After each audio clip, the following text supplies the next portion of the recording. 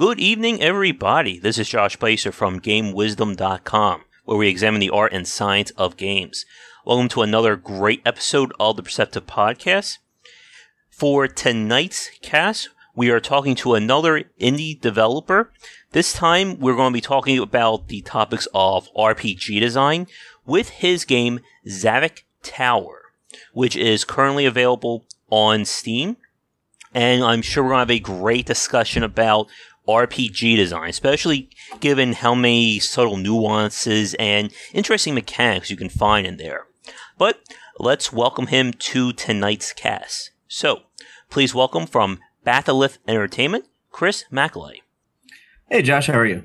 I am doing great. How are you doing, Chris? Doing well, doing well. It is great to have you on tonight. We've been getting so many guests lately that it's always great to talk to just about everyone pretty much interested in game design in the industry. Yeah, it's great to be here. Uh, it's always fun to do uh, do a podcast. Definitely. So, to get the ball rolling, then, Chris, as this is your first time on the cast, if you wouldn't mind telling everyone a little bit about yourself and kind of like your background with game development. Yeah, so uh, my name is Chris McAulay, and uh, I'm the owner of Batholith Entertainment. I've been making video games here and there, little side projects for fun for 10 years. Um, we have a couple games on Steam, um, one of them being Hydraulic Empire, the other is Zavix's Tower. Uh, it's just a, it's a great experience. I love the indie scene. Um, my background is in computer science. Uh, went to college at Cal State Fullerton, that kind of thing. Um, mm-hmm. yeah, just love to play video games, love to make video games. You know, really a big fan of just about anything that's RPG esque. Mm. So yeah. Awesome. Besides the RPG genre, are there any other genres of games you like to play? Uh, strategy games, mm-hmm. RTSs, turn-based strategies like Civilization, um, action RPGs, which is an RPG, but a little bit different sometimes. Um, mm-hmm. Really, anything that's not really first person. I'm not really a, a huge first person fan. Past that, uh, which is funny because Zavix's Tower is first person, but it's turn based, so it's mm-hmm. it's slower. Um, it's kind but of, yeah, first person shooters. I'm just not that great at, so I don't play a whole lot of it's kind of interesting about that divide we see among fans. Either you're going to be a first person shooter fan and non RPGer, or vice versa.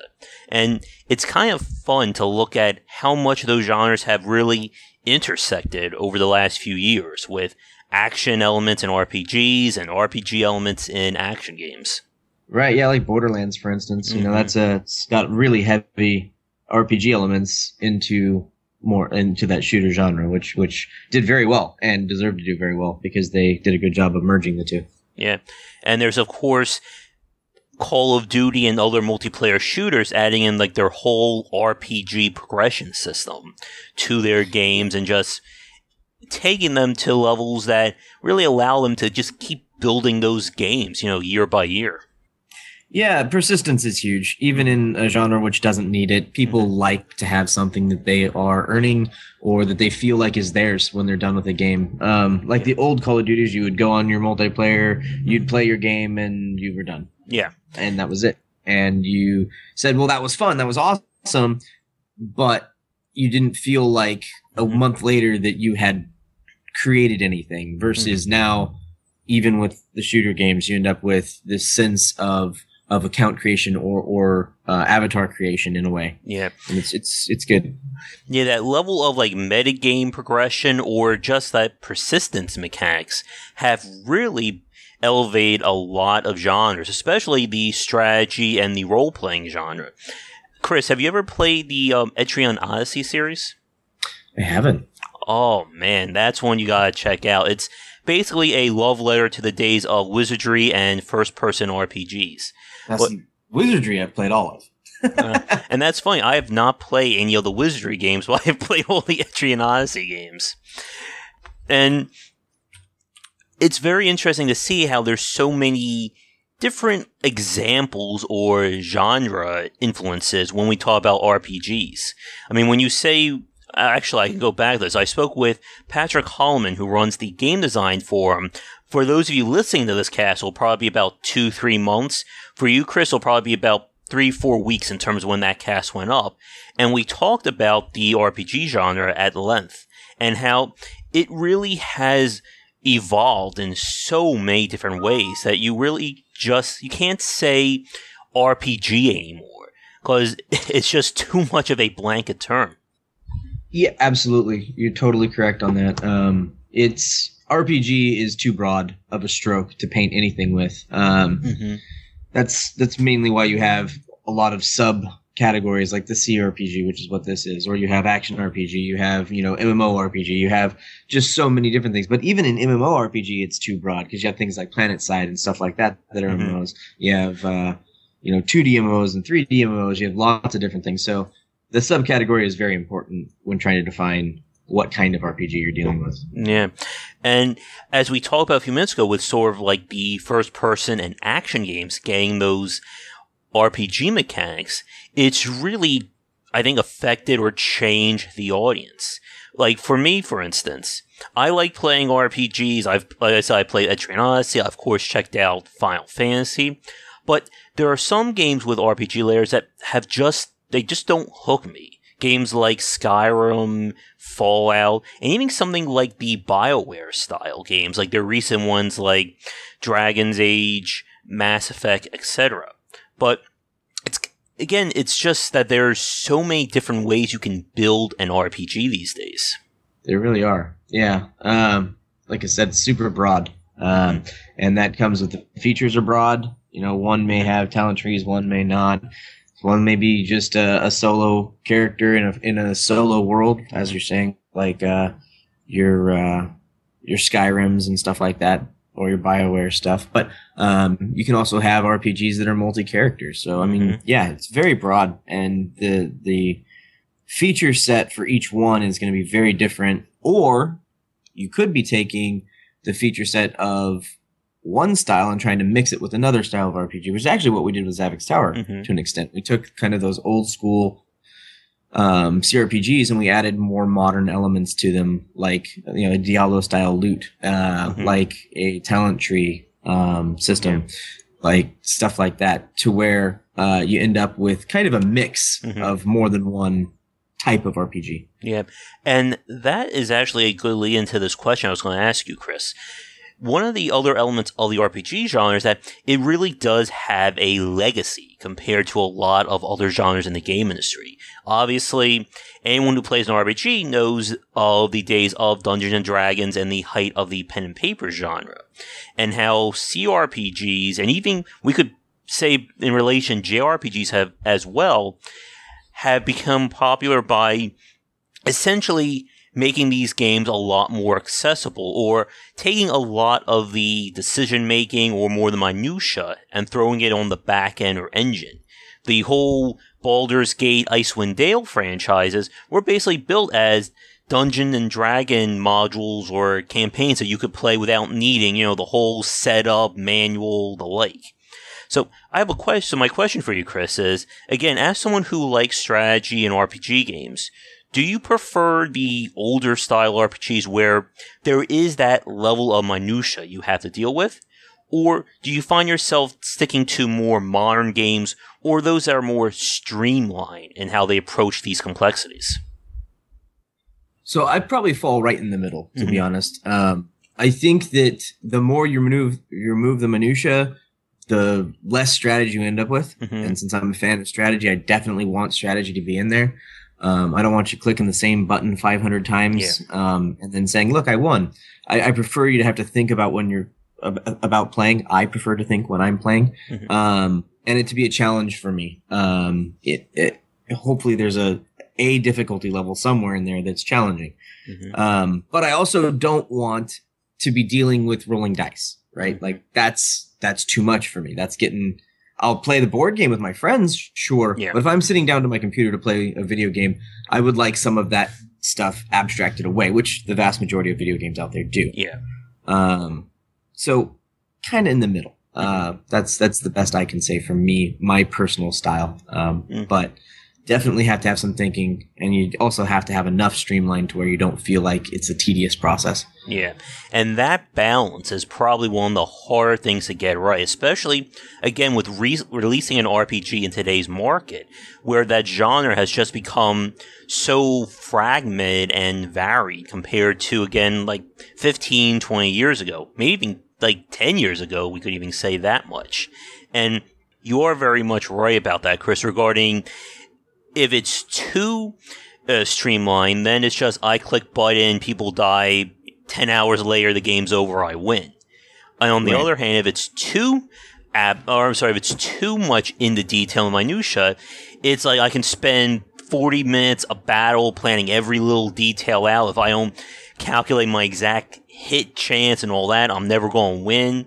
And then it just drags that game on for who knows how many more extra hours. Yeah, uh, and you uh, you see that a lot in say some of the uh, the grand strategies that come out by Mhm. unfortunately the indie market um, Mhm. that are trying to produce something that's uh, a little deeper than say Civilization Mhm. um, Five, which is very deep. Uh, Mhm. And by the time this comes out, Civ uh, Civ Six, which I will happily take a few days off to go and play. Um, but to be fair, Civilization is not the very deepest of Mhm. those those games, and um, but the struggle that some of those indie games have is they get too deep. They get so deep that in between turns you could be spending half hour, forty five minutes just coming up with what you're supposed to do before you push the end turn button mm-hmm. again. And now, like you said, the game just goes on forever, and you may never finish one because you might get bored and move on to the next game yeah. before you get there. I'm, I'm happy you brought up Civilization as well, Chris, because the strategy John also has had this issue with these kinds of labels. Again, when you say strategy, we can talk about everything from Civilization, XCOM, Europa Universalis, even like tactical strategy games as well. And I'm sure I've probably forgotten more than most people have actually played of those, but it's such a again, it's another blanket term that becomes very difficult to properly nail down. And with those high level 4X strategy games, I've definitely had trouble getting into those games. Uh, every one of my friends has, you know, spout, sprouted the love of Europa Universalis or Crusader Kings 2. And those I'm with you. are, what? I love those Yeah. games. and like those are games that you can you get one of those games and that could be your game for like the next five to six months there's that much detail depth and replayability. But on the flip side for someone new coming in it's basically like you're diving into a um the grand canyon filled with water in terms of trying to Oh, figure yeah. out what you're trying to do in those games. Yeah, even being a veteran in the genre, when I got uh, Europa Universalis 4, uh, I was doing some Googling for sure. hmm Just trying to figure out exactly what was going on. Um, once you get into it a little bit, though, once you can get your toe in, hmm um, it, it eases up pretty quick. Uh, but I would say, yeah, you're probably going to spend half hour, an hour just Googling the different things and kind of coming up with uh, a, a strategy of your own or Binging for that matter. You could, you could definitely use Bing. Um, yeah not just Google, I guess. uh, but uh, yeah, um, but I, I, I hear you. They can get very tedious um, at times, and they can be very hard to get into. I agree with you there. Um, I found that a lot of times it's very worth it. So struggling through a couple hours of, of figuring things out in those kinds of games can lead lead to years of hmm of uh, enjoyment. Yeah, and it goes back to what we were saying a few minutes ago with that balance between streamline and complexity. A game like Europa Universalis 4 or Crusader Kings 2, you're not going to have the same play every time you play it. Even if you Oh, play the same country over and over again, these games can evolve in radically different ways, and it- that is definitely part of the appeal. And what we see in a lot of other strategy games, like we could say arguably high level civilization play, can tend to become like standard build orders. And once you know exactly how to manipulate the AI and the mechanics, you can basically do pretty much the similar things each time you play to win. And there's nothing wrong with that. That doesn't mean the game is bad. It's just they're basically dealing with different levels of abstraction and complexity.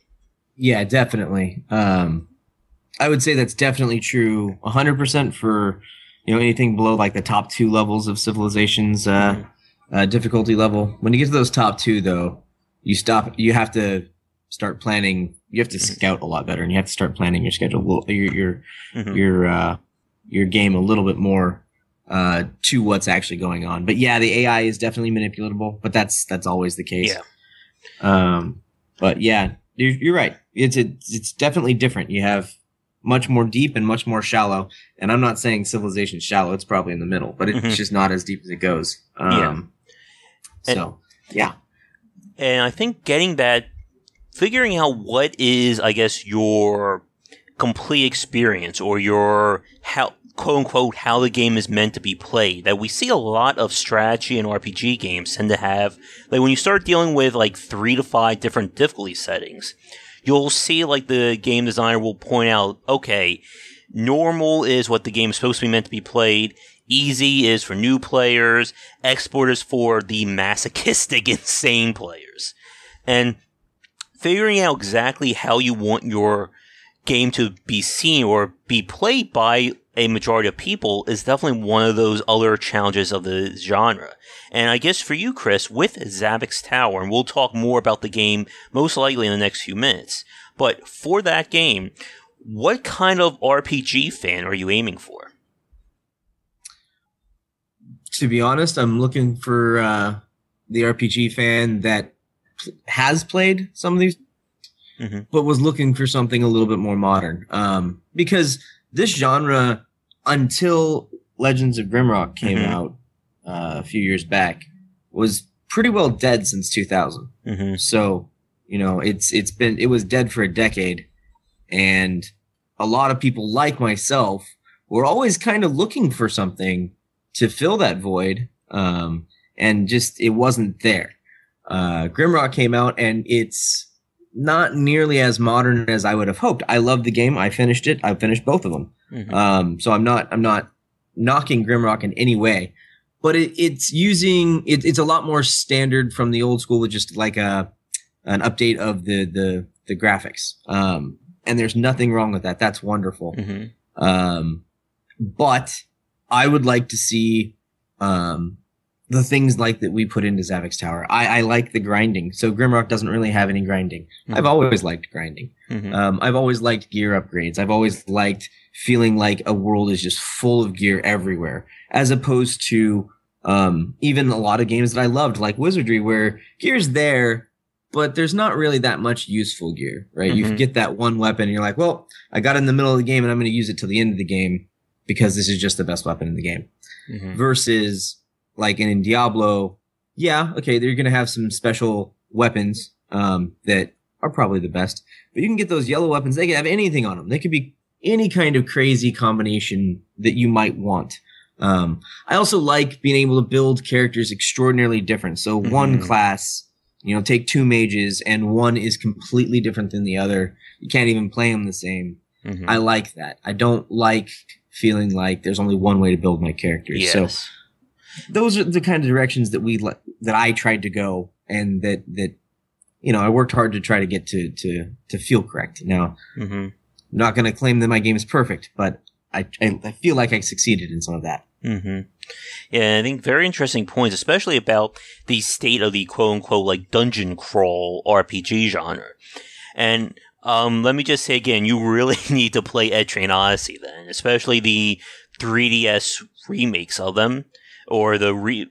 Uh, yeah, they're considered remakes at this point because I think they will scratch that itch very well. And I think you are right that for pretty much the thousands, it was a dead genre. This was the time where I think BioWare and again, sort of like that merging of RPG and action really started to take root. We saw everything from Knights of the Old Republic, The Witcher, Mass Effect, and probably a lot more, especially in the independent market, of these RPGs mixing action and RPG elements. And yeah, with like Etrian Odyssey, for instance, when the game was released, and I can't. I do not remember the exact release date off the top of my head. But when the first game, 2007. I'm looking at the uh, Wikipedia Oh, page thank you. as you speak. my God, I feel even. I feel old again. but uh, when the game was released in 2007, almost every website or every mainstream gaming site magazine who reviewed it gave it thumbs down, saying, "Oh, this is too hard. This is a game about grinding, and there's no, you know." Action elements and it's a challenge, and if you die, you have to restart from a save point. You know, this game will never work. It's horrible. I think like IGN gave like a three or four out of ten. I think Nintendo gave it like a six at the time. And the fan base, including myself, we loved the game. And then by the time it got to like episode to Etrian Odyssey 3, the reviews started to change saying, oh, this is a dungeon crawl game. Yeah, that's good. We'll, we'll give it like a 7 or an 8 out of 10. and, and it was just like funny. And the thing is that the game has not changed. They're up to, if we count the re release, I guess we're at six games of the main series by now. I think they're working on Etrian Odyssey 5 at the moment. And the, the mechanics have not changed at all. Still first person dungeon crawling, still turn based combat, but just the reception from people has been altered. And I think both Etrian Odyssey, Grimrock, and again, sort of this revival of these older genres and design has really helped things. Yeah. Um, I never saw this, but I I didn't have a DS until I bought one for my son for Christmas last Mhm. year. So I'll have to uh, order these things. Um, I've been more on the uh, the console and the and the Mhm. computer Yeah. for gaming for me. Um, but yeah, I will definitely pick these up. I love these kind of games. Dungeon crawlers are my Mhm. uh, my dirty little secret passion for video games. Mhm. Um, you know, like I said, they were dead for so long. I was still playing them. I was just playing the old ones yeah. um, yeah, I mean they're great, and I was so so psyched when I saw Grimrock come out. Mhm. Um, it's kind of what led to this game was that I just was like, I really want to do one of those. Mhm. Um, why didn't I think of doing this before, kind of thing? And it wasn't really a Me Too thing because we tried to make the game very different from what Grimrock is, but Mhm. uh, it was just one of those things where it welled up nicely inside and made me feel like we got to do that. That's got to be got to be on our list of games to do. Yeah. And going back to what you were saying a few minutes ago regarding being in the middle of the road between the streamline and the depth, I think I'm with you there. I don't want to spend, you know, 50 minutes to an hour planning out, you know, two minutes of play, but I want to still be able to think, I still want to be able to essentially dig into these mechanics. It's one of the things I like about Etrian Odyssey, and it's what I like about when I generally play RPGs it's one one of the things about the RPG genre because it is some so much built around abstraction and black and white mechanics that if you're not really good at designing and balancing, it's very easy for a player to quote unquote break your game. You know, they'll find the best combination of spells or the perfect way to grind levels or anything like that. And for me, that's usually when I'm done playing an RPG kind of game. Like, if there is that break point, when I know that I can just do X, Y, and Z and I'm going to win every time, I just tend to just shut off from those types of games. Yeah, well, the the more you allow people to dig in, the more that becomes a threat Yeah. for sure. Um, and as hard as a developer may try, there's still going to be things that creep in that do that. Um, but yes, balance is key. It's very important. You know, Mhm. we I've spent a lot of time in it, and I wouldn't even say that we're completely balanced. You know, I do my best, and we keep upping things and lowering things and making little changes here and there to try to keep it hmm in line. But when you have, like we do, over a hundred skills, um, it quickly can become uh, breakable. We have a guy actually on the Steam forums that, that keeps breaking it for me, which is great. I am Mhm. happy that he's doing it, and then Mhm. you know I come in behind him and fix what he's breaking, which is great. Yeah. You know that's that's what you need because you I play my games a certain way. But I'm I make them so that I hope other people don't just play them my way. Yeah. And so, um, with that comes, like you're saying, that this threat of uh, uh, broken combinations. Mhm. But you know, in this world where we don't have to produce a perfect game on the first release, Mhm. um, in this patch and update uh, gaming world, it at least makes it so that we can fix it. Yeah. And that is definitely a topic I want to talk more about in a few minutes. Um, one other game that just came to my mind that you probably want to Google as well. It's from similar developers of Etrian Odyssey. Um, I think it's called the Dark Tower for the DS. At the no, yeah, I think for the DS. There's so I've played so many games. It's like my encyclopedia gets jumbled up. That was even older, older school than Etrian Odyssey. There's no dark the Dark Tower, I believe. towel. Tower, T O W E R. Towel. Got it. And that game went even far. Let me see, so make sure I've even got the right name. Yeah, it's there. Yeah. Uh, oh, I'm sorry, the Dark Spire. Tower, Spire, it's always tricky. Yeah, the Same Dark thing. Spire, yeah. and that went even further. And for me, I think that's when it went a little too far back in the old school. It- again, Okay. they removed a, l- even more of like modern conveniences. There was no in-game map that you could have access to at all times. That's harsh. Yeah. And with like the RPG genres, we've said um, what we were just talking about in terms of breaking and balancing these skills out. It's definitely very. I know there are players who will look at RPGs and they play them for. I don't want to say fun, but they play them less at the high level. There's people who will build, you know, their own little um, let's play or even like a little story around their character. So it's not about building the superb, you know, I will beat the game 100% with this exact build, but it's about telling a story. And I think that's the other side that has really helped the RPG genre remain popular these years is the storytelling side. And obviously for anyone listening who's played pen and paper games, I think you can definitely attest to that kind of appeal. Yeah, definitely. Um, there's upsides and downsides to everything, right? So Mhm. when you go pen and paper, you're obviously you're obviously expecting a huge time sink from your players, Mm-hmm. um, and an extraordinarily organized playstyle.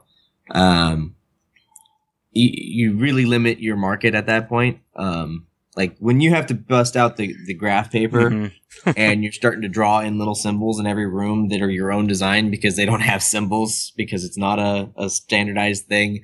And then you come back like three months later and you can't remember what that symbol meant. yes. Um, you know, there's a huge amount of fun that can be had and satisfaction. I would actually say the satisfaction for completing something in that is even greater. Mhm. Um, but the amount of time you have to commit to get that satisfaction is again massive. Mhm. Versus, we can all go all the way back to what we discussed a few minutes ago. The I push these three buttons, I win game. Okay, you beat the game, Mhm. but did you really become satisfied by the game? Yeah. Did it did it scratch the itch you were actually looking for? And it may have. Um, I'm not saying that that's wrong to make a game that way, but I I feel that the satisfaction level is much smaller. And Mhm. um, when I complete a game, I want to feel like it satisfied whatever I was trying to get out of it. For instance, when I go to play, you know, Europa 4, I'm trying to have a deep thought invoking process in which I have to come up with tons of permeations in, in order to to do well. Um, Mhm. When I play something like uh, Diablo, I'm not looking for that kind of a deep experience. I'm looking to kill stuff, and I'm looking to kill stuff quickly. If I'm playing something like I used to play a lot of WoW, I haven't played since since Kata, but um, when I was playing that, I'm looking for kind of more of a social, but Mhm. still quite deep experience. You know, so each game is going to have a different experience that you're looking for, and you play that game hopefully when you're when you're in the mood for that kind of a thing. So there's there's room for all kinds of games, but pen and paper. As dear as it is to my heart, I don't know that I could ever make a game that's quite that hardcore. It's just Yeah. it's just too too much. Mm-hmm. And again, it goes also back to being appealing in the market as well. And that's one of the very big challenges of just about any indie developer out there is deciding just how is my game going to be received? And we've seen so many developers have trouble with getting their name out there, getting their game out there. And it goes back to again, just what kind of game you're trying to make. The more unique or original it is, it hmm. becomes a harder sale compared to, you know, the umpteenth Call of Duty or another game like Diablo or even the platformer genre. And, you know, all three of those we could spend who knows how many hours talking about. Right. Now, I one more RPG, I think, skill related question that I have for you, Chris, and then we'll start to move into talking more about Zavix Tower. Okay. As we've said with balancing and designing an RPG, the amount of complexity there, especially when you start getting into the dozens, if not hundreds, of skills, combinations, tactics, whatever, becomes very daunting. And one area that we can see a lot of developers struggle with is when it comes to providing a challenge. Because you're basically giving the player, you know, carte blanche to build their parties however you like, it then becomes challenging to design adequate enemies or situations. If you make things too simple, then, you know, player can put together a party of four priests or like four like the weakest characters and they'll just win. On the other hand, if you go too too specific or too powerful, then you create situations where if you don't have two fighters, one mage with fire skills, and one priest who has these four skills, this boss is unbeatable. And so my question for you, Chris, is in terms of that kind of design or balancing your game from a challenging standpoint, where do you stand in terms of like your philosophy or what you're putting into Zavix Tower? Yeah, so um that's definitely a problem mm-hmm. for for many many RPGs, and, and you're totally correct there. Um, what we try to do, or what I try to do, I keep saying we, it's just me. Um, but uh, is is to to develop mobs, fights, skills, whichever one you were talking about at the time, because it's it's actually I look at them much the same, right? A mob is just a set of skills, really, mm-hmm. um, with a with maybe a special AI, hopefully. Um, and I try to develop each one of those with multiple ways to beat it, but not infinite ways to beat it. Mm-hmm. So, um, also with classes, you want to create a class. Uh, no, no class should have a perfectly unique um, skill in such that it becomes required for a boss. Because mm-hmm. now all of a sudden, you have to have that class. Yeah. Um, but what you can do is add things to each one of those. Like, so for our game, one example is, uh, you know, the has cleanse, which it can remove a, uh, a, a, dot or debuff from one of your characters or removes a buff from a, a mob. Mm-hmm. Um, well, our shaman can just remove, and our druid will, will soon, which when it comes out in a couple weeks, just be able to, um, uh, so the shaman can just remove buffs, and the druid will just be able to remove debuffs. So anything that needs w- to be removed. So if you have a boss and it has a skill that puts uh, a buff on one of its own characters and needs to be removed, mm-hmm. you can have one of two classes to get that off. And yes, maybe you can blow through it without getting it off, but you're gonna have some kind of pain mm-hmm. associated with that fight. Um, so looking at individual skills, you want to have either no bosses or, or, or mobs require that skill in order to beat, mm-hmm. or you just can't have a perfectly unique thing that only that class has. Yes. Um, and for a boss, I try to come up with three or four combinations that'll be able to beat it. So currently we have six classes. We'll have seven soon. Mm-hmm. Um, and we're trying to get up to nine.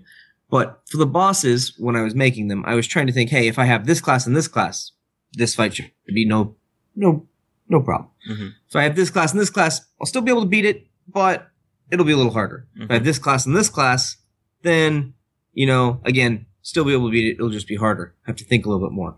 Um, so on and so forth. So different pairings to where if you have six characters, almost guaranteedly, unless you decide to take six of the same class, mm-hmm. you're going to end up with one of those pairs. You're just going to have to think about how do I use my classes yeah. in order to do that mm-hmm. that boss's mechanic. Yeah, and that is a really good point there, Chris. I'm glad that you talk about that part. Going back to when I play like the Etrian Odyssey games, that's one of the things that really struck a chord with me is the fact that skills aren't unique to one class in the sense in terms of utility. So you don't have just one person who can heal or one person who can tank. Right. You can have someone who has a fire skill. Is it a fireball? No, but it does fire damage. So Right. if you're running into enemies who are weak against fire, it's not like saying, "Oh, well, you didn't get your mage, you know, 40 hours ago, you're now screwed." If you have this if you could have another way to get around it. And being able to have like that utility, I think, spread out among different classes, especially with a game like Zavix Tower or Etrian Odyssey or any game that has essentially party creation, I think is very important for balancing and again to keep it so that someone isn't punished because they didn't know you threw in a a boss who uses poison 50 hours in and now your whole party is dead. Right. Another thing to fix that, like for Zavix Tower, is that um, if you do happen to run into something that you're not prepared for, you can have multiple characters back at town. So Mhm. you can have many more than just your original party sitting around, and you can switch them in for your next run. Uh, Mhm. if for some reason you do run into that, because I, I have had people say, I can't beat the game with six warriors. And I always try to respond, well, that's not exactly how I meant the game to be played. Um, you're welcome to try, Mhm. but you know, removing debuffs is going to be difficult for you. I'm sorry. That's Yeah. just that's life. yeah. Uh, and I had another guy, the guy that I that breaks the game for me. Um, he was like, you know, I'm running four priests and two paladins, Mhm. And I don't feel like that's right. and he was like, um, the priest is doing too much damage, and here's why I think it is. And you know, we went through and we Mhm. solved it. But you know, that's once I do solve it, his game save's not dead. He can just go pick up his other characters that are sitting in his in his Mhm. end form. Yeah. So that's that's one of the solutions I also have to to stop that from happening. Mm-hmm. And that is also another very tricky thing. I know uh, from playing the, the game The Darkest Dungeon and even watching high level play, there's a tendency to stack like different classes. So you would have two grave robbers or three paladins or three crusaders or, you know, very crazy builds when you start throwing in duplicates. And there's always that very weird balance. I've seen cases where, you know, someone with like in RPG may have like four archers or four mages and they'll just dominate. Or they'll build a crazy party, like you just said, Chris, like six warriors, and it's like, well, I built this party. Why doesn't it work? Why isn't it getting me through the whole game? And it's always interesting to try and balance these different kinds of playstyles because, again, if you give players options, they are going to try every single thing will absolutely. to make sure that it works. I mean, I will give you an example of this from Etrian Odyssey. In the third game, I basically said to myself, I am not going to take the dedicated healer or mage class. I'm going to build a party out of all the other weirder and more unique classes in the game, and I want to see how far I could get with it. And I literally got to the final boss with a party that didn't have a quote unquote healer or mage. And I thought, wow, that was awesome. I still got my ass kicked by the final boss, but for me, I tend, whenever I play an RPG, I always go for the stranger or the more niche classes. Like, just because I know of the holy trinity of warrior, mage, uh, healer, that kind of class system, Mm-hmm. that whenever I play an RPG, I want to go, I want to break that. I don't want to use that. And like with Diablo 3, for instance, my favorite class in that is the Witch Doctor. I am like, I love like pet classes. I love classes that, again, it's not just about straight healing, melee, or spell damage. Yeah, I mean they're definitely fun. hmm Um, you know, it's fun to have things that aren't as straightforward. Um, to me, that's what any hybrid class should be. Mhm. Um, after you build your your standard classes or your base classes, which, like you said, is the holy trinity. You get your warrior, your mage, and your priest, Mhm. and you can throw rogue in there and say that's part of base classes oftentimes too. Yeah. Um, once you build those into your game, hybrid classes should be some mixture of those Yeah. but with some uniqueness as well. Mhm. Um, like in some games, you'll have a paladin that is, you know, more of a caster hmm but wears armor. Yeah. In other games, it's more of a warrior that can still throw a heal. Yeah. Um, but where games fall short with that is oftentimes they'll make their hybrids classes much too strong Mhm. rather than being, you know, 75% warrior and 25% healer. All of a sudden they become 100% warrior and 50% healer. And all of a sudden they're, you know, they're 150% Yeah. of your base classes. So you have to be really careful with those kinds of things. Mhm. Or they'll do, they'll make them way too weak Yes. to where you just can't even use them. They're, they're so weak that they're a detriment just being in your party. Yeah. Um, Like oh, like going back to the paladin example, he does far less damage than the warrior. Has can wear less armor, and maybe his heal is maybe a fraction of that of what a priest can put out. right. In which case he's just useless. Exactly. and so that's that's the the the the funness of the hybrid class is that they're not nearly as straightforward, or they shouldn't be, hmm um, in my opinion.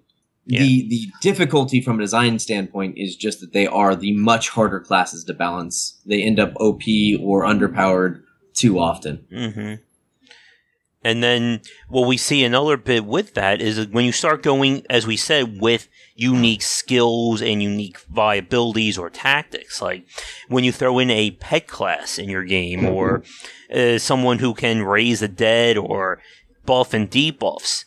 When you have those unique abilities, it can all that also adds another layer to what it means to balance your game. I've played RPGs in the past where, excuse me, the debuffs were so powerful that they just rendered all the bosses, you know, like weak little kittens.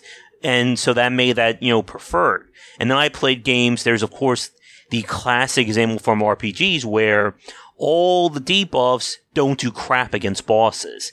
Like if you've ever played like a JRPG, like poison doesn't like- work, everything. yeah, he just resists every single skill, and then it's like, why should I think about having thirty different skills when all I do is just hit attack, kill the guy, move on to the next one?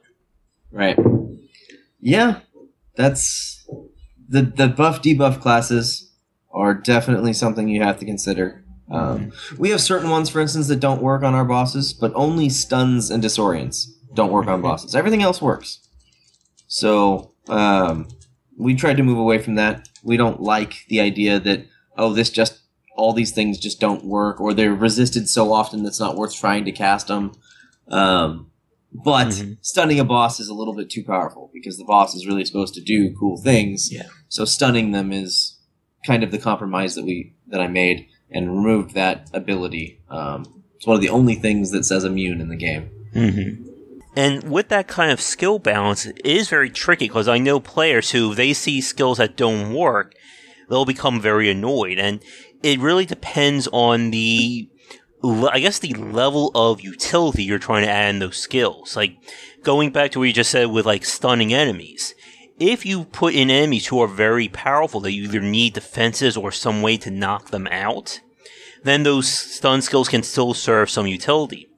But at the same time, I've seen many RPG and even like strategy RPG, sort of, you know, like those hybrid games, tend to have trouble with creating like effective bosses. Like, I'll give you an example. Um, have you played FTL by any chance, Chris? Oh yeah. And obviously, you know about the final boss fight, which is a set encounter with a three stage boss. And Mhm. when you have that fight, because that boss in each one of his phases has set strategies or set ways of dealing damage, it can make that fight seem very one note. If I know boss is going to do these three skills now, I know that if I don't have a way to either get around them or mitigate them, then I just basically automatically lose. And I've actually found myself specifically with FTL going through the whole game, realizing I didn't get the things I needed because it is random. yeah, Um, to beat the last boss and saying, "Well, it was a good run, but there's no really, there's not even Yeah. a point to to fight the boss right now." yeah, me too. I've had that as well with a lot of my runs. I mean, I don't think I've actually ever been the game on normal just because I never managed to get that lucky string of, you know, what items you need and whatnot. And I think going back to a game like Zavix Tower in the RPG genre, when you have more of a open-ended kind of game where it's not just you must you will only play this for 40 minutes, and anything that happens in those 40 minutes is completely up for grabs. But when you say you can go at your own pace, and going back to what you were saying earlier with grinding, when it works like that and you're able to see that progression grow, it, I think it gives you more malleability in terms of designing fights and designing situations. It definitely does. Um, and in those cases, though, you have to be very careful not to require too much. Yes. From your players when they get to a boss, just because you you don't know the amount of grinding that they've done, Mm-hmm. um, and so there's this great unknown of how hard should this boss be. That you need to have a lot of back and forth with the community Mm-hmm. over the bosses, um, just because you don't know. Uh, unlike with uh, FTL, there's a very specific, you know, amount of encounters that you've been to. You know, it ranges a little bit, but it's not like, well, this one I had seven times the encounters. No, you might have, you know, 20 or 30% more encounters than maybe your last run, but you're not talking about, you know, massive changes in the number of encounters. Whereas with Zavix Tower, you can exit the tower every time you get to the stairs, and you can redo the same level 500 times if you wanted to Mhm. before you get to a boss. It would be awful tedious. Mhm. I wouldn't want to do that myself, but somebody might. Mm-hmm. Yep, and it's always tricky again getting that balance because the more variety and the more options you give, the more permutations you essentially create in your game. And there are so many examples of RPGs and even strategy games that tend to just bog down because of all those permutations. When you can basically say anything can happen, then you either need to account for everything or it's just not going to work out as intended. Well, I mean, you can't account for Yeah. everything. That's that. That's. But I I know what you're saying. Mhm. I, I would say that instead of in, approaching a boss fight as here's what's intended, Mm-hmm. I would say approaching it as here's what's possible. Yeah. is a better way. Mm-hmm. um, because I actually don't want the bosses to play out the same way each time. Um, Mhm. in fact, I don't script their their capabilities. I give them their capabilities. I set an AI, Mm-hmm. um, but I don't script what they're going to do. I want you to have to react to what they're doing. Knowing what they can do is wonderful, Mm-hmm. um, but having to see what they are going to do and what they are doing, um, and it being different each time you play it adds a lot to a game. And therefore, saying um, this is what I intend to happen for me and for Zavix Tower is would be would be a, a rough way to try to design the game. Mhm. Um, it's just there's too many possibilities to account for them all. So giving people a different experience each time, so that there's no predetermined experience that I expect for them, Mm-hmm. um, means that there's a greater variance and people can enjoy that variance. Variance. Yeah.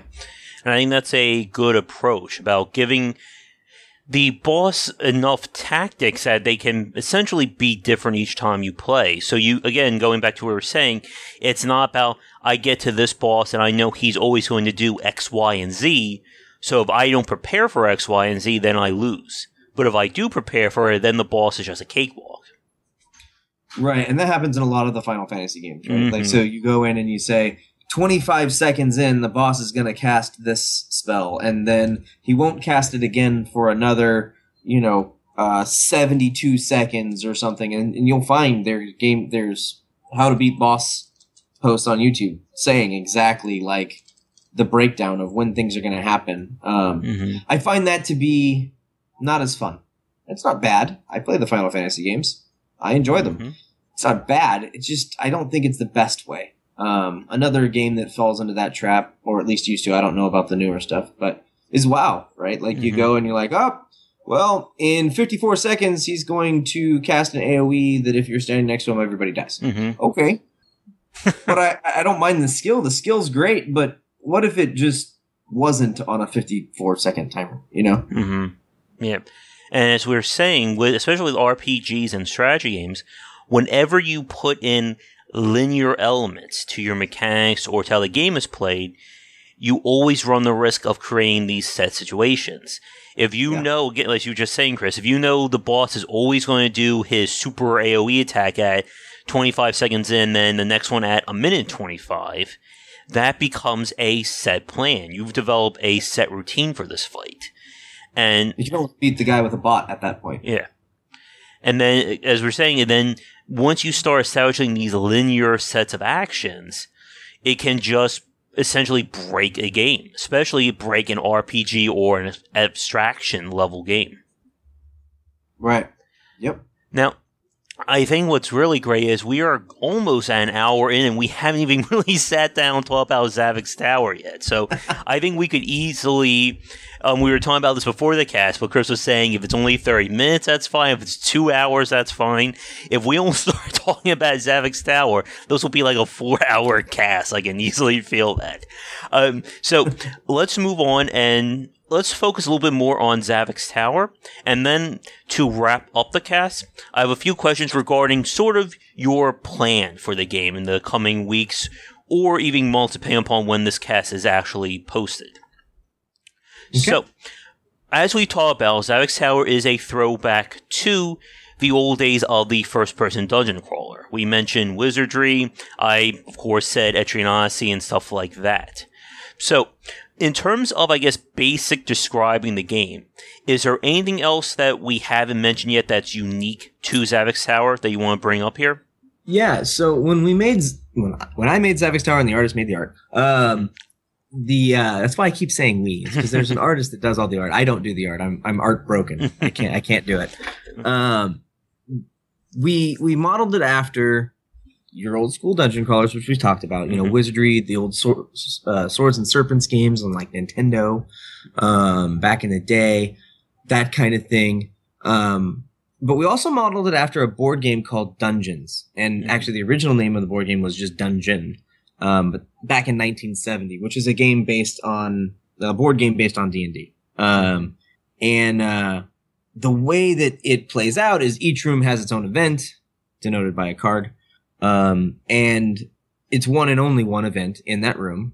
And after you beat that room, you'll get some piece of loot or some benefit to you. Um, and so part of our game is modeled after that. Uh, as uh, you said, you played a little bit, you know that each room has something in it. Yeah. Um, and then there's also hallways and stuff to make the dungeon more, uh, more varied. But when you come to a room and you go through a door, you have an event. And we wanted that to be one to one, um, in that, in that fashion. And so, yes, old school dungeon crawler has the largest, um, influence on the game but that board game also has um, a solid amount of, of influence as well as modern RPG elements. And when I say modern RPG elements, I don't mean every RPG in the world. I've actually gotten some pushback on that. Um, well, there's this modern RPG that has this, and I'm like, well, but that's a classic RPG element. Just because it's a recent game doesn't make it a modern element. Mhm. Um,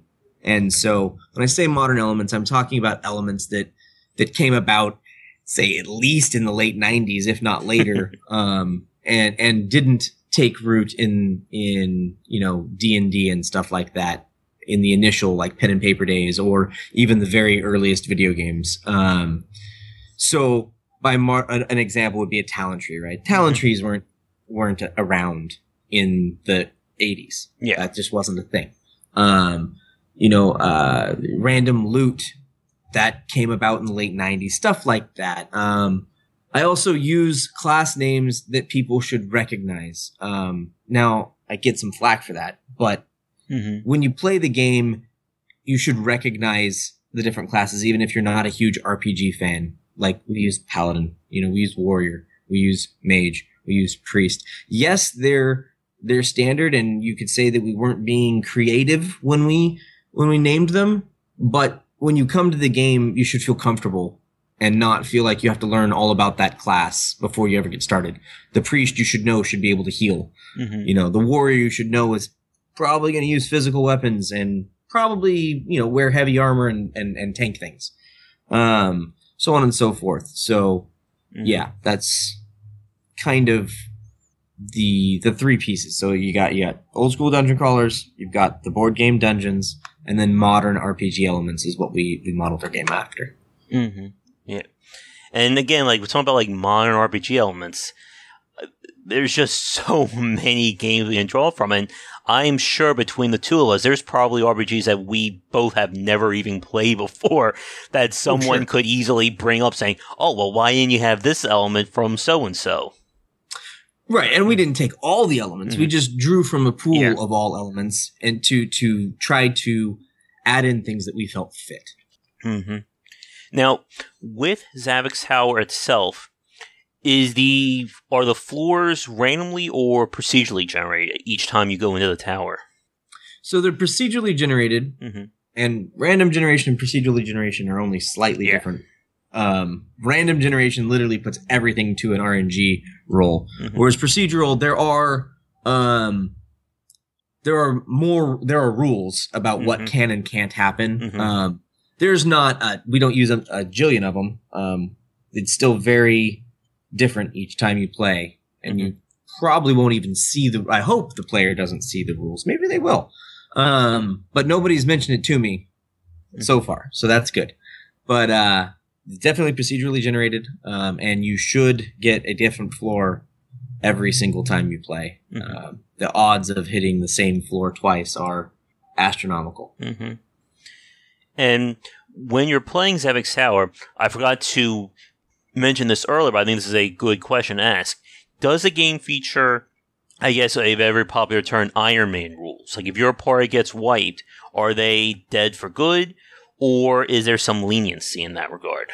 So currently, we only have the original mode out. I am right now hoping to be able to put in a uh, more hardcore mode, in which case anybody who dies has to be resurrected. hmm Um, right now, when your party wipes, one of your characters must be resurrected and drops all of his gear. Okay. So um, now I have gotten plenty of feedback asking for a harder hmm mode.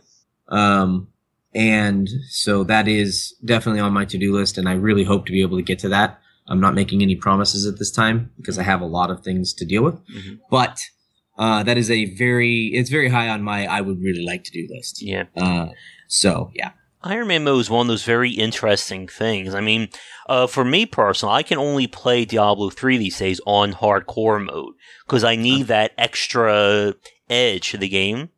But then there are some RPGs that I know that if I play this on hardcore mode, I would be throwing something out the window if I at some point during this play.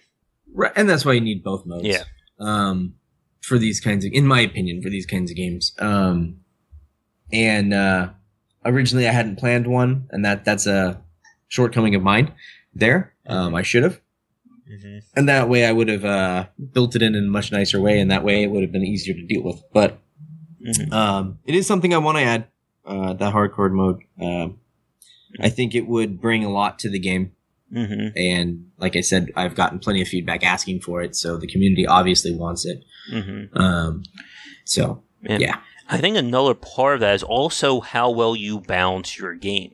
I've played RPGs where the difference between success and failure can be a matter of seconds.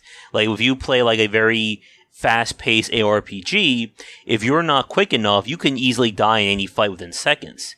or if you lag, Of course, lag. which is the most ex- most excruciating thing is to just catch a random lag spike. Let's say because Windows start, starts to upgrade date on you, mhm. and you're like, "No, I was playing that character for 25 hours." Yeah. and that kind of issue there, like if you're not properly prepared in terms of like how well or how far you want to take it, it can really make hardcore mode be so punishing that most people don't even want to deal with it. But on the other hand, if your game is so lax, you can it can also be like hardcore mode is really still just like a slightly rougher version of your softcore mode. And it's just a very interesting way when you're trying to balance your game around the fact that, oh, if you die, you know, it's all over kind of thing. Yeah, which is what most hard- hardcores are, Mhm. and they, they, what hardcore also does is add a lot of replayability. Mhm. Like you mentioned for Diablo three, right? So most people don't reach max level with a hardcore character. Some people, I'm sure, do. Mhm. You know, some really really good people. Um, I usually don't. I've I uh, uh, for me, I've made to the I guess level seventy, but in terms of I know people go like to torment ten, you know that kind of craziness. I'm just like, nope, not doing that. yeah, it's. I always end up with like a meteor prison dude, and then I'm Mhm. dead, and I'm like, damn it. yeah, Ugh. So, but that's just yeah. I have made it to max, but not normally. Normally, my character dies beforehand, which which is fun though to me. Um, eventually, you know, I get mad and stop playing the game, but only after you know thoroughly itching this the the the scratch that I had for that type of gameplay. So hmm yeah, Yeah. and it's just very interesting in terms of that kind of design. And we'll talk more about like how you're playing on upgrading or changing Zavix Tower in a few minutes. Now, one other question I want to ask you that I'm curious about. With like a general, I guess, quote unquote playthrough of Zavix Tower, how long do you estimate it will take someone to like get through the game? wow, that's a hard question to answer just because it, it all depends on the amount of grinding that you do. Mhm. Um, a five floor run with a party that because uh, the game is broken down into five floors. I Mhm. guess I should mention that 1st Mhm. So each every five floors is a boss. So boss on 5, 10, 15, 20. hmm If you beat the boss, you can start From the town on the floor directly above the boss. So 6, 11, Yeah. 16, so on and so forth. Um, so a five floor chunk with a party that is of appropriate level is probably about 30 minutes to 50 minutes Mhm. pending. Um, and when I say pending, it just depends on how fast you play, right? If Mhm. you have a great grasp of the game, you're obviously going to play a little faster than in somebody who's still learning the game and um, and struggling through some of the decisions that may be out there. Um, being that there's 50 floors, and let's say that they're you know 45 minutes, so in between the 30 and 50 minutes um, per five floor set, you're looking at about 450 minutes. What does that come out to? Seven and a half hours hmm um, straight through to 50, but you're going to grind too. Yeah. I mean, I know that for me, I typically, to get through a five floor set, probably play the first level of the set and I'm ready to get out, hmm you know, before dying. then I'll probably play one or two floors, then slowly ramp up. Um, probably four or five times in the dungeon per set of five.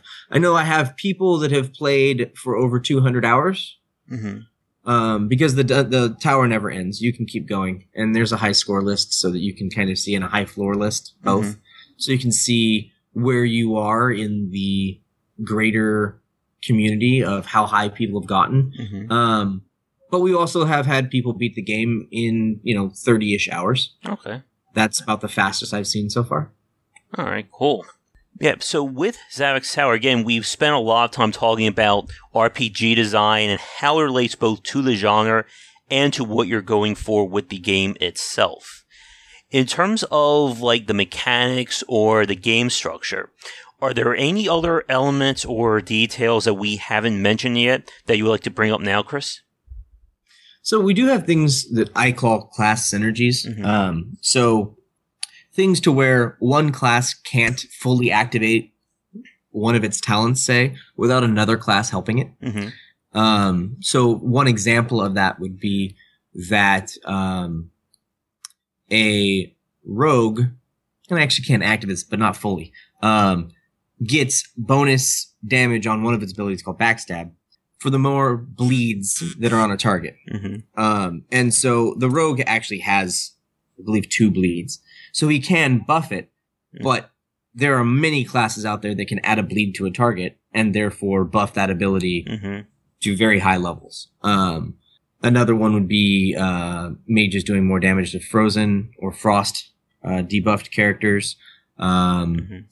Warriors do more damage to stunned characters, um, so on and so forth. So, using different classes to buff's the wrong word, but to synergize with To play off each other? other classes. Yeah. Um, which I know other games have done it. I'm not saying it's an original concept, but it's a it's a part that I take pride in. I really like that. I, I feel like it gives a lot more to the game if you really want to get into it, and you're going to do a lot better in the game if you do it. Mhm. Um, you can play the game without it for the most part. hmm I don't know. You're not going to get as high as the other people are in floor wise, but um, you definitely can play without it. Yeah. But it really adds to me personally a a, a tier, a layer of of flavor to the game that other many other games don't have. Yeah. And uh, that goes right back to, as we talk about, one of my favorite things about Etrian Odyssey and playing these RPGs is figuring out how all these systems work and how they're connected to each other. And as you just said, Chris, coming up with those synergies, figuring out, okay, if I have my warrior and rogue and I build them these two ways, they can play off of each other, and then they'll be able to do something like this.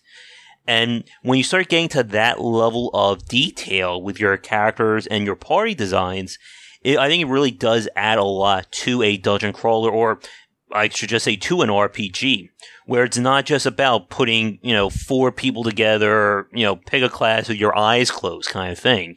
And you're actually saying, I want to build a party that, let's say, is all about buff and debuffs. Which classes am I going to pick? Which skills am I going to pick? and then how am I going to essentially uh, finagle all these things together so that it works? Right. Yeah. And it's a lot of fun on the game design side for that kind of stuff. I will say. It is one of the most, at least for me, enjoyable parts of building a game is being able to get to that level.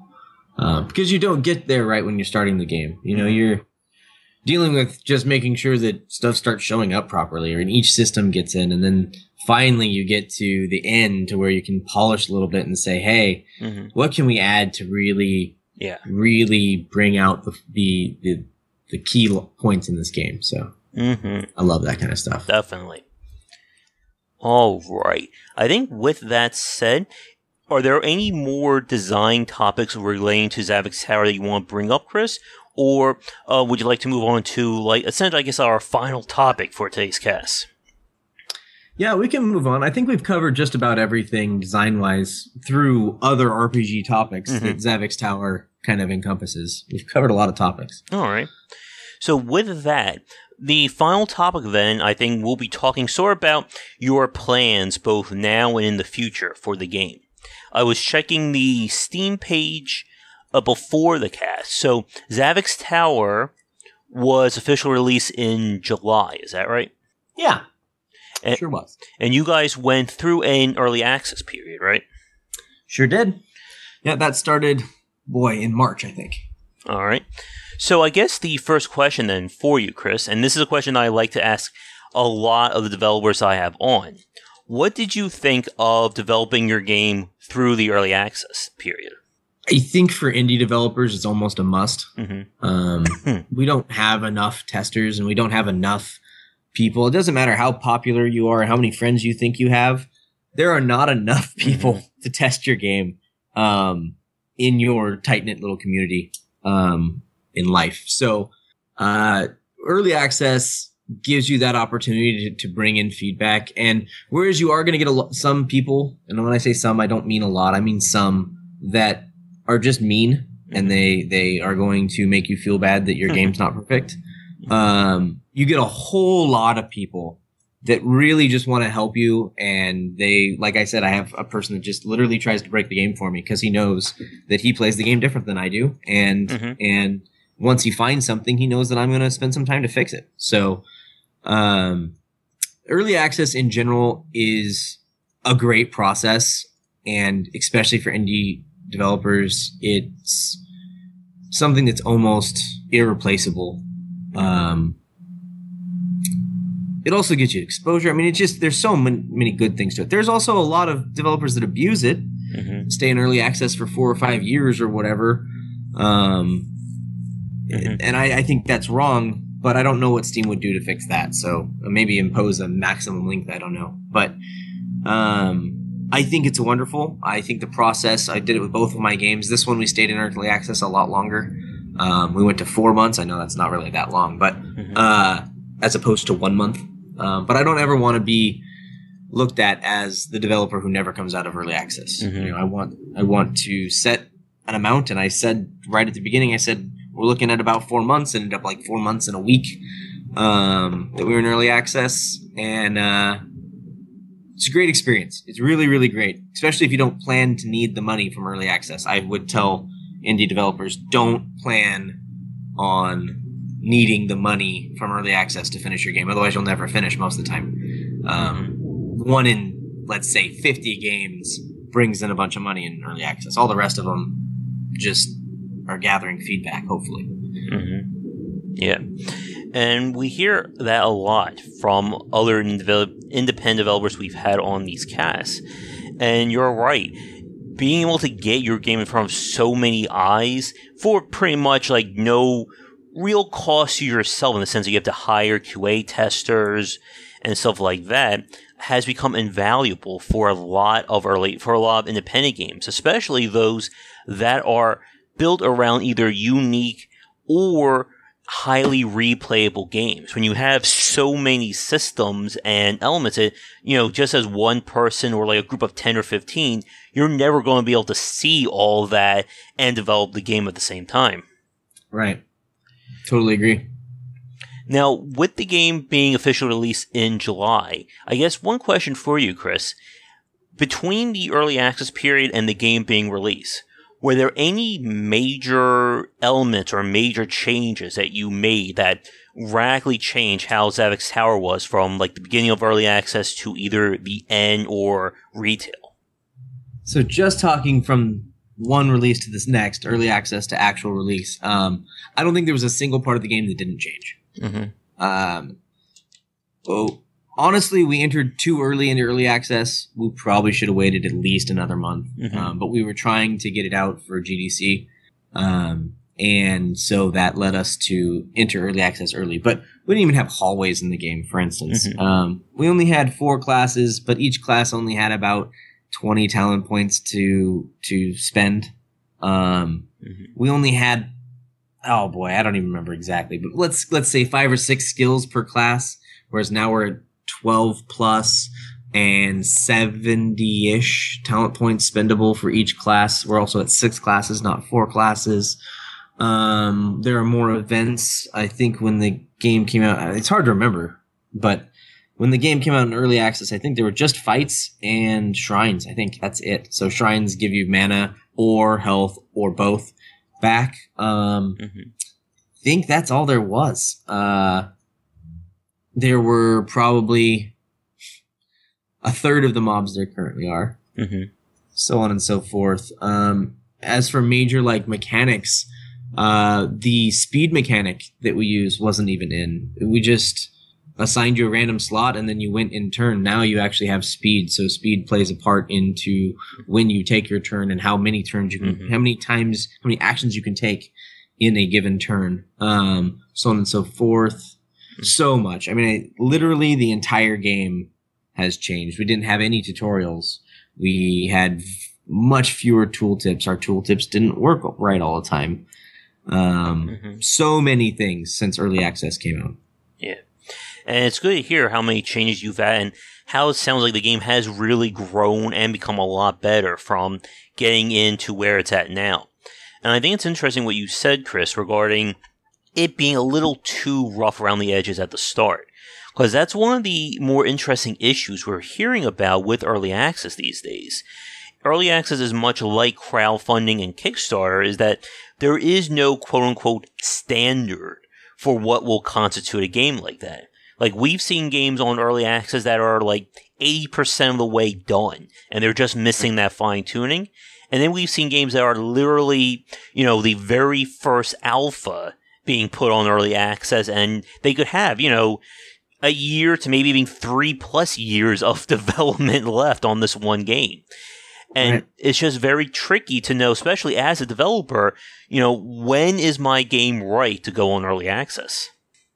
Eh, like you said, there's no standard. Mm-hmm. Um, my opinion, and I'll be honest, I even, like I said, I, I think we were too early this time. Mm-hmm. But um, my opinion is you should have a game that is fun mm-hmm. and that most people can play without it crashing mm-hmm. um, before you go to early access. Uh, now, I understand that that is generic as well, what I just said. Um, mm-hmm. When I say ours went too early, uh, it just it crashed too much. Mhm. There, there's no way for a small indie developer to test hardware well enough. Um, there are crashes that I simply could not duplicate Mhm. with the hardware I had. Yeah. And yes, they're fixed, they're gone, they're done. But I would have never known they were there. So those kinds of crashes are going to be there. But things like, hey, I used backstab and the game crashed. That's got to be out. That's got to be gone. You've got to fix that up before you even think about going to early access because otherwise you're just going to get a bad set of reviews and you're going to you're going to have to fight your way back tooth and nail Yes. all the way and that's what happened to us. I mean, we went all the way down to 52% hmm mixed rating in Steam to begin with. Um, and a lot of those re- reviews are still on the game. You know, you can contact the people and say, "Hey, the game's better. You want to try it again?" But they don't usually. Yeah. Um, And, and so you're stuck with these reviews that have nothing to do with the game anymore. So Mhm. I would say be wary, other indie devs out there. When you're going to early access, if you go in too early, you are going to get stomped Mhm. by the negative reviews, and and rightfully so Yeah. right? I would say that the most of the negative reviews we got were earned at the time. Mhm. Um, and most people won't give you a second chance. Yeah. That was your one chance. You blew it. I- Oops. Yeah, that I think is the um, smoking gun right there for what it means to be selling these games on Steam and especially going on early access. You really only have one chance to make a good first impression. And then if you fail that, you either A, have to get really lucky, or B, you have to work your ass off to essentially uh, rewrite or realign the ship in a sense. Yeah. And that's where we were. We updated the game a minimum of two times a week, Mhm. all except for last week, only because I was working on a on the, the new town questing system, which took forever. Mhm. Um, since early access, there have been a mountain of updates. I actually don't even know how many there are. There's so many of them. Um, but yeah, it's it's a big fight if you if you're not ready for it, and we weren't, and we paid the price. hmm And, and it's such a tricky thing because, as we've said, and I'm sure as you're no doubt aware, Chris, every game is different. There is no manual for how to design a video game. And that means there are no standards for what is and what isn't considered either, you know, finish or part way or whatever. We've talked about this on the cast with many other developers that I think, as you said, Chris, in terms of when is a good time to go on early access or when is a good time to show your game, it should be at the point where someone can get en- enjoyment out of it and that, you know, it's actually playable. Like, if you put your game on early access and person clicks start and the game crashes, that is just shooting yourself in the foot, you know, with like a rocket launcher. Now, I would say though, when you said show game, I would say you want to do that as early as possible. Mhm. But the people that you're just showing the game to should not be having to buy it. Yeah. Um, we, it is it is so valuable to get feedback before you think your game is ready. Yes. Um, it- first of all, you can stop developing something that's a train wreck. hmm Um, and I don't mean the whole game. I mean just like an individual system within the game Mhm. and fix it.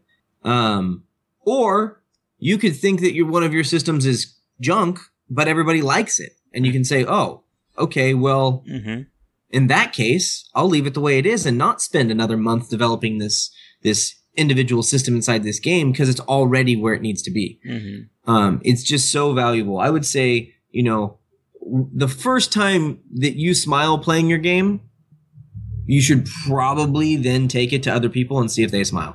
hmm Because if they don't, then your bias is showing through and you need to you need to continue thinking about what you're doing. But if they do, if they love what you've got, then you you get a reference point. So you either get you get feedback either way, but you either know that you need to change something or you know that you've got something good. Mhm. Um, and when I say people, grab your best friend, make them play it.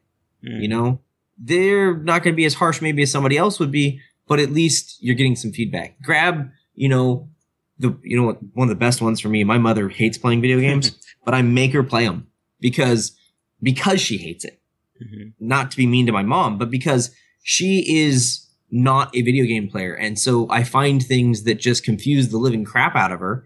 And then I'm like, oh, I guess that's more confusing than I thought it was. Being somebody who's played video games since he was two years old, you know, um, Yeah. it's it's a, just a different perspective. Grab these people. Go find random people. Um, I took Zavix Tower to the mall, literally, and sat there and had people play it. Um, that's a frustrating process, but you get a lot of feedback. Um, and even that wasn't enough feedback. We we still weren't ready for early access. So I Mhm. can't stress how how important it is to just get your game in front of people. Yeah. And we've had so many examples of developers saying just that. When I spoke with Tim Keenan, who worked on Duskers over this year, he said pretty much the same thing. Like, there were things he would not have ever thought of or ever have seen that his that the people who were testing the game and looking at the early access were able to find. And they also Mhm. suggested elements that he would never have thought of or improvements on the game. Right? Yeah. It's it's huge. It feedback is so important. And if I don't know if you can still see what our our post was for early access or not, but um the top line was we're here for feedback. Like give it to us. That's what we need. Um and I I think and I'm I'm 100% positive the game has improved because of it. hmm Now, as we talked about, the game has been released since July, and you have been working on it since then.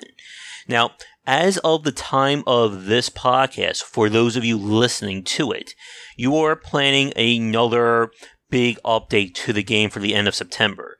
If you wouldn't mind, for the folks listening, what else is coming to Zavix Tower? So today, actually, I just released Town Quests, Mhm. um, and it's not fully fleshed out, but it is a system in order to gather more resources more quickly, Mhm. um, which is in response to people requesting ways to get more resources more quickly. So that was actually a decent size upgrade just today, uh, update today.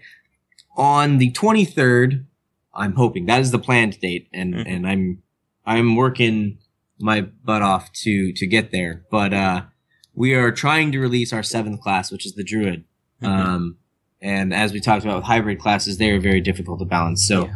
that's part of the issues that I'm having. I also want every class to feel special Mhm. and uh, feel like it plays different. And since we already have two hybrid classes, which is the paladin and the shaman currently, um, adding another hybrid class uh, comes with some challenges. You know, I don't want the druid to just feel like a a shape shifting paladin, or I don't want it to feel like a shape shifting shaman. I want it to feel like it has its own place and its own reason for existing. Yeah. Um, and I think I'm succeeding with that so far, but I got a ways to go. Um, and that is kind of the most important piece there. I also plan in that patch or before, sometimes I separate things out into smaller patches, which I often do.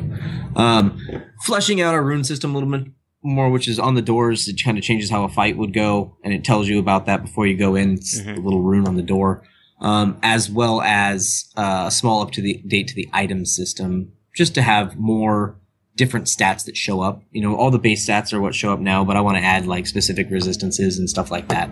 Mhm. Um, and like, yeah, just just more stats on the on the gear, uh, more different kinds of stats. So those are the things that I'm trying to get to by the 23rd. We'll see how well it goes. Um, past that, we have two other classes we want to add. Um, I we talked about the hardcore mode that I would love to add that one. Like I said, I'm not making promises, but I would like to do it. It's really Mhm. something that as long as I don't go bankrupt before it, I will want to add. Um, yeah, that that's kind of where the game's going. More content. Wait, I do want to add a few more mobs. All the bosses are in that we're going to add for this current game. That doesn't mean we won't ever make an expansion or something sometime. Um, but that part is done. Although the bosses constantly get edited.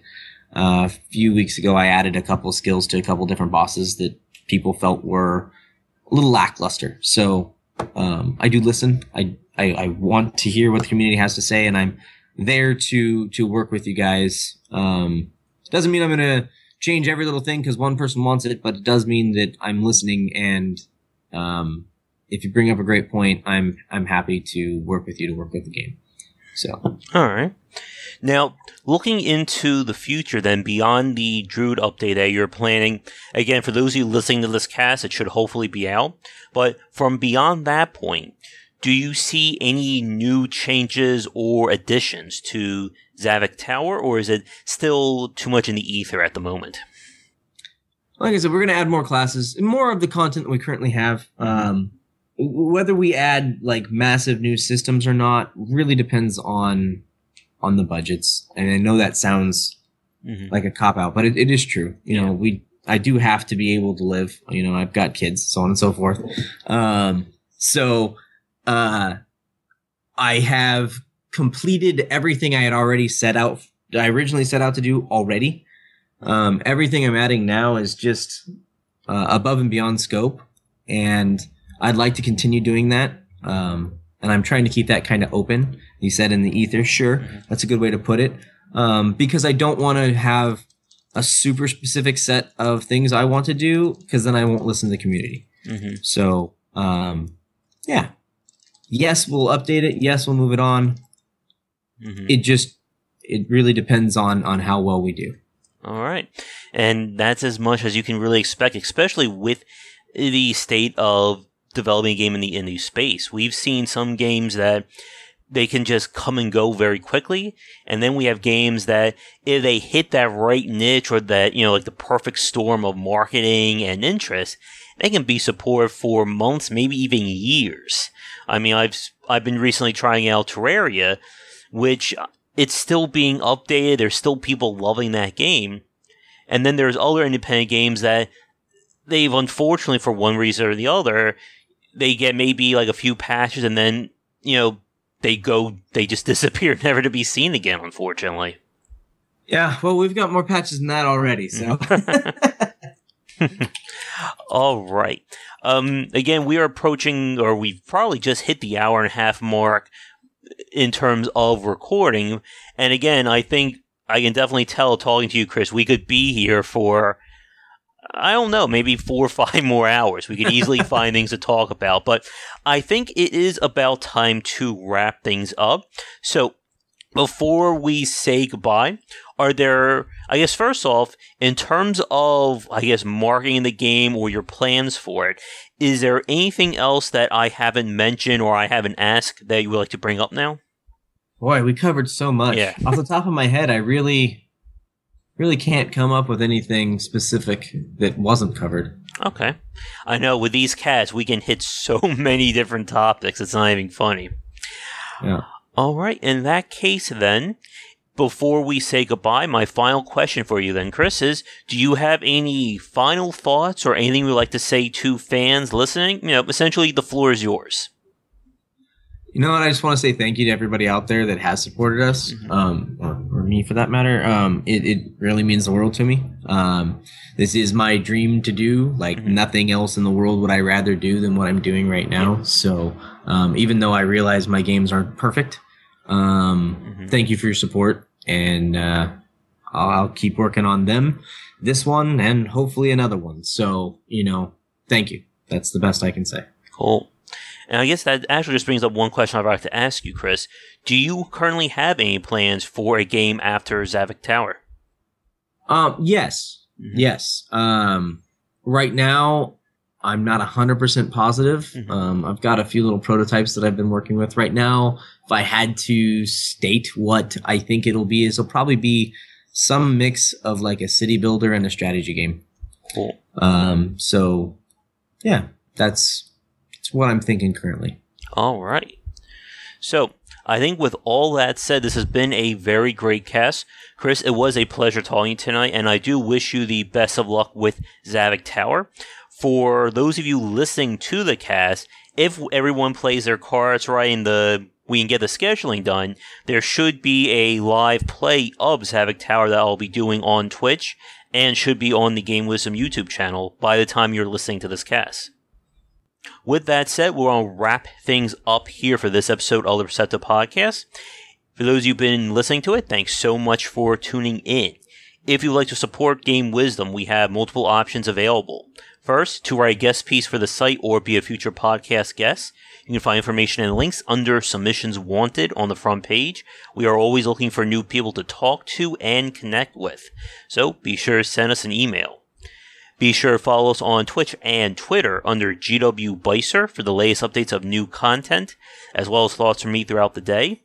Subscribe to the Game Wisdom YouTube channel to find daily videos of Let's Breaks, indie spotlights, game reviews, and my own personal vlog where I talk about game design topics.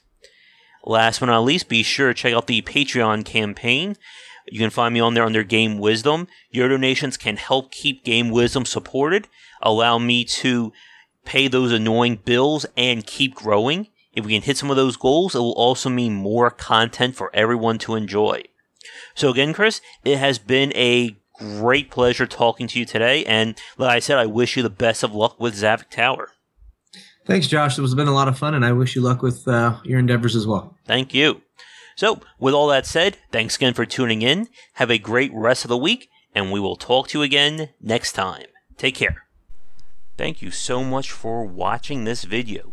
If you enjoy it, be sure to like and subscribe to the channel, and of course share with your friends, it always helps out. For daily posts on all manner of game design and industry topics, check out game-wisdom.com. To support the site and everything that I do, be sure to check out the Patreon campaign. If we can hit goals, it will mean more content for everyone to enjoy, and I'll be able to support myself and my household. If you want to follow me, you can find me on Twitter at GWBycer for updates throughout the day and random thoughts from me. And lastly, you can find me on Twitch right over there at GWBycer for daily streams most nights around 10 Eastern. Thanks again for watching the video, and be sure to check out more great content coming to the Game Wisdom channel real soon.